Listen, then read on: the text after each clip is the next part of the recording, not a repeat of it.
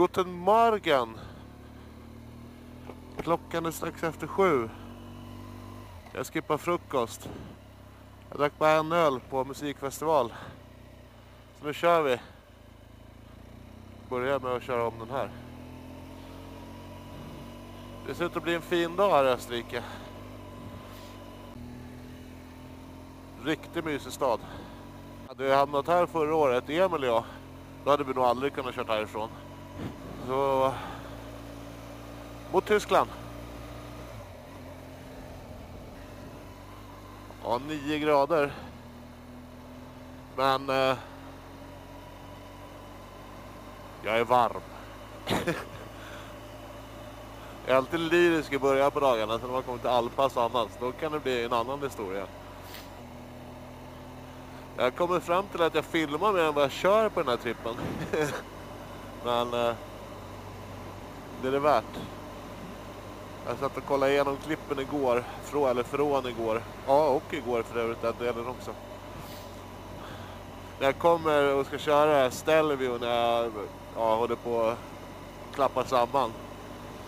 Då får jag så minneskortsfel så jag har inga klipp därifrån. Men jag har eh, nedstigningen från det första som tur är. Eh, å andra sidan så kanske det inte är jättespännande att se mig köra upp för ett berg i 30 km i timmen. I och för sig. Bara säger skulle varit intressant. det är lite av ett tokpass idag. Jag hittade nämligen en ny vingård. Jag vet inte om den alls är på samma sätt som den i Italien men det är Kassel som gäller. En eh, sisådär 60 mil bort. Hörni, jag börjar fatta grejer med att gå upp tidigt. Och sticka iväg. Rätt värt det. Eller?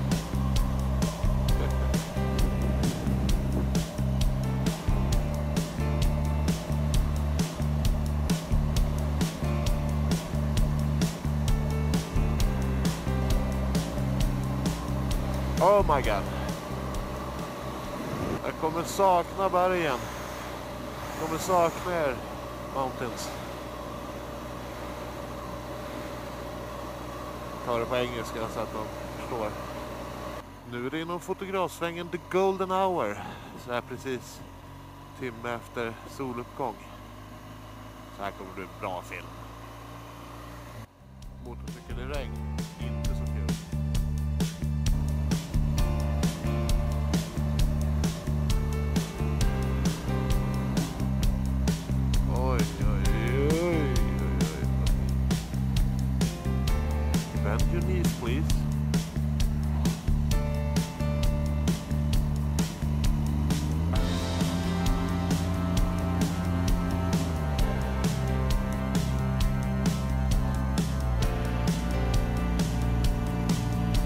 Leveran- vägleverans, hörni.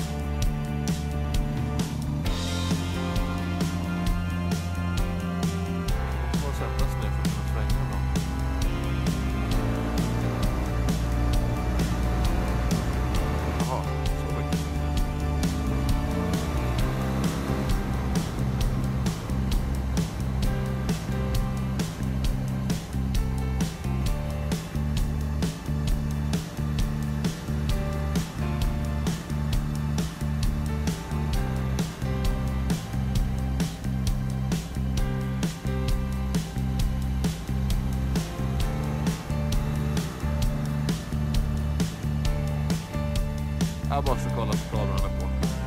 Där var den!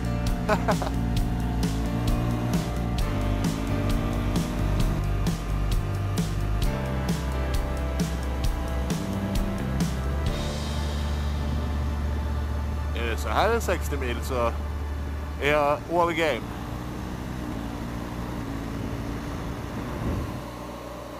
Gud så trevligt. 15 minuter. Nej, jag tror fan det var ännu längre. Det, är typ en halvtimme film. När jag krampaktigt tar mig ner för ett berg. Kommer bli... Kommer man få se i the extended version. Hemma på Lilla torget. Gratis vin för alla som tycker, tycker det är kul. Ja, oh, shit. Nej, det var härligt. Jag tänkte försöka hålla ekipaget rullande så mycket det går idag. Eh, kommer naturligtvis behöva stanna ändå. Men eh, så mycket som det går kommer jag nog bara försöka köra på. Jag är lite så halvsugen på att köra en sån här toklång etapp. Kanske imorgon. Det beror lite på vädret också men samtidigt så vill jag ju liksom kunna boka hotell och grejer utifall att. Så jag får se.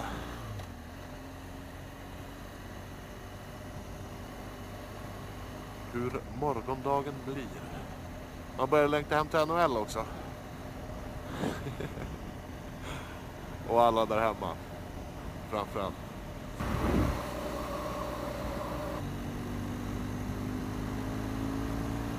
Det är en liten stigning nu men det har jag lärt mig. Här är i alla fall någon jätte... Det här är ju en hockeysarg på sidan. Här känner jag mig ruggigt hemma. Här är inga som helst problem. Fast det är nog i Österrike. Eh, tror jag.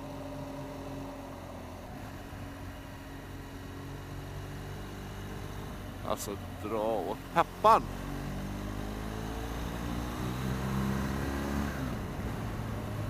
Jag tror ju på att man bara ska hitta en vägsträcka och köra fram och tillbaka. Man fixar två hotell i början och slutet på en vägsträcka som man gillar.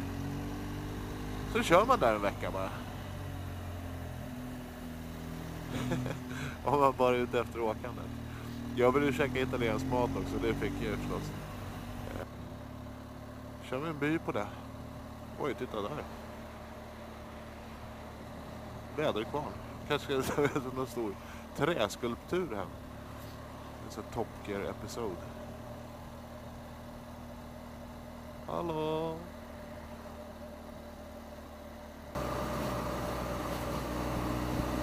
Tjena grabbar. Det kunde ha varit tjejer också. Sorry. Ett landskapsporträtt Tommy Andersson.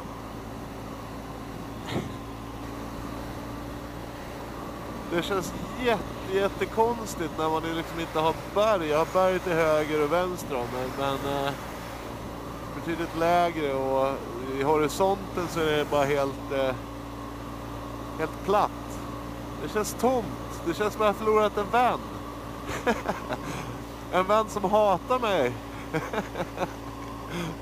bara, hörru, kom och häng med mig för fan. Kör eh, serpentinjägare upp skithögt. Jag ska skrämma skiten ur det. Men jag tycker ändå om det på något sätt. Ja, ni fattar. Äh, måste ta en sista bild. Så mycket blev det av att hålla ekipaget rullande. Äh, jag var bara tvungen att stanna. Och få de här killarna bakom mig på bilden sista gång. Shit vad mäktigt det är.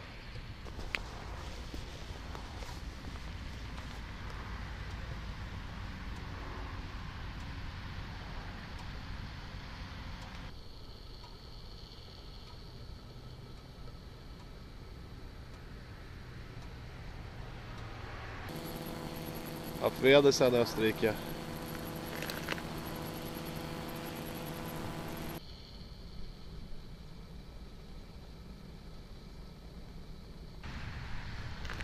Ja, hur mycket jag än är skitglad att jag inte kommer behöva åka upp på ett sånt där berg igen. Så kändes det lite vemodigt nu. Nu börjar det liksom bli hemåt på riktigt. Hoa!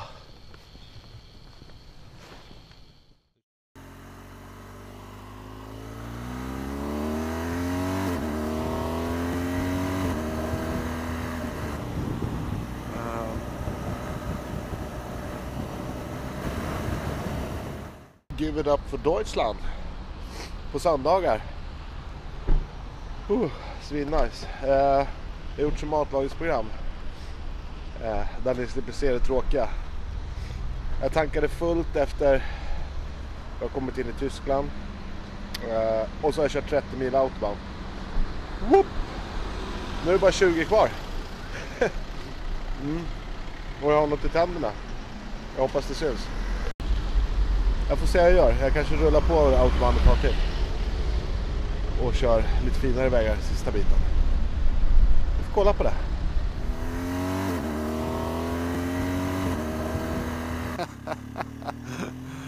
Ödets ironi. Tvärstopp på autobahn. Typ två minuter efter jag stänger av kameran.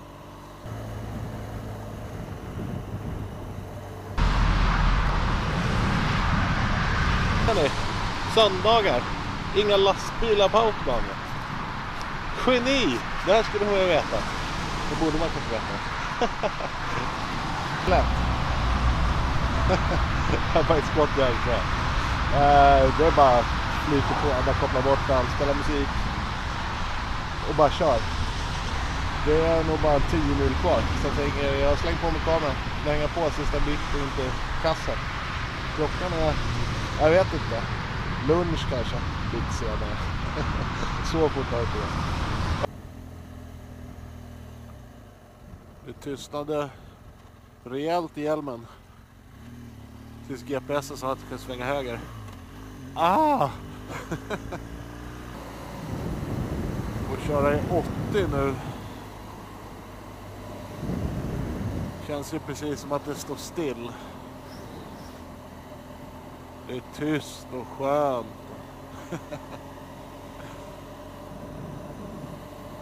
Ingen idag. Åker alla autobahn tydligen. Det gör inte mig ett dugg det. 10 mil kvar ungefär. 25 grader varmt. Livet leker. Det är lätt ibland. Det är lätt.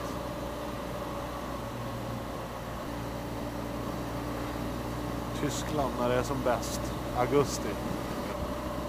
Ja, just nu så är det ju bara så att Tyskland visar sig på sin absolut bästa sida. Asfalten är sammetslen.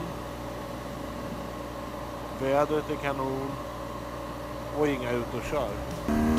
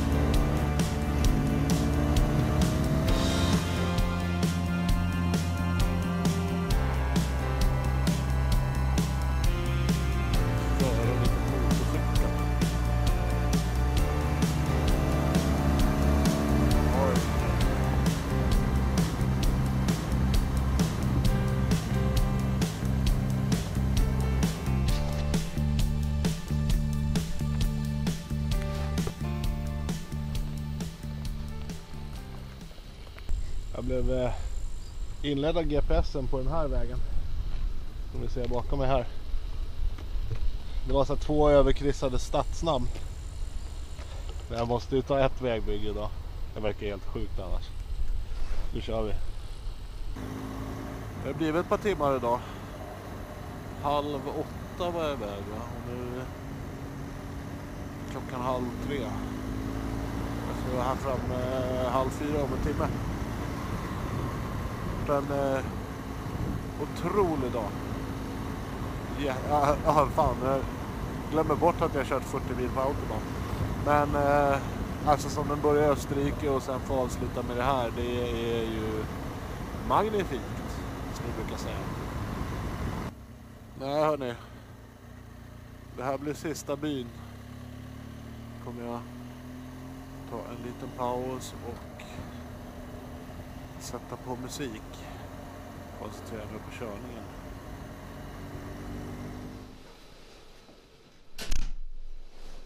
Oh, oh my god. Vägen var avstängd. Men jag blir med den. Så nu har jag kommit till, till ka, kassar. Ka, kassar, kassar. En vingård. Eller ett fint hotell. Jag kör på det. Bam!